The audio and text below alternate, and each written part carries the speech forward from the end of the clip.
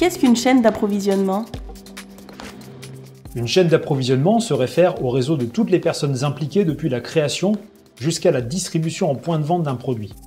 Elle est composée par l'ensemble des entreprises, ressources, activités et technologies utilisées pour la mise à disposition finale d'un produit destiné au consommateur.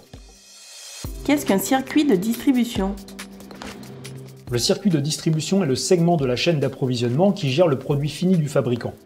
Il existe plusieurs modes d'approvisionnement qui correspondent au chemin parcouru par un produit depuis sa production jusqu'au consommateur final. Il y a des circuits de distribution directs qui sont sans intermédiaire, courts qui ont peu d'intermédiaires, longs et ceux dits intégrés avec des intermédiaires tels qu'un détaillant, un grossiste ou une centrale d'achat.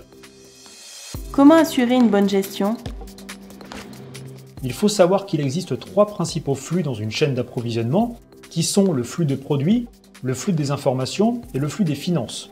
Une bonne gestion de la chaîne d'approvisionnement implique une bonne coordination et intégration de ces flux au sein de chaque entreprise et aussi entre elles.